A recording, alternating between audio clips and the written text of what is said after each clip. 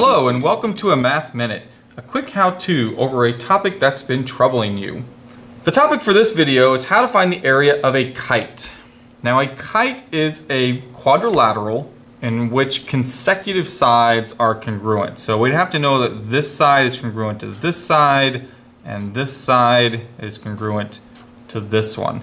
So if we have those markings or if we're told that we do have a kite, uh, then we can find its area using this formula. The area is 1 half d1 times d2. And the d1 and the d2 are the lengths of the diagonals of the kite. So in this case, those lengths are given to you. Uh, the length of this diagonal right here is given on the outside of the figure as 10. So that could be our D1. And the length of the other diagonal going horizontally across the inside is given to us on the bottom as 18. That could be our D2. Area of this kite can be found by doing 1 half times 10 times 18.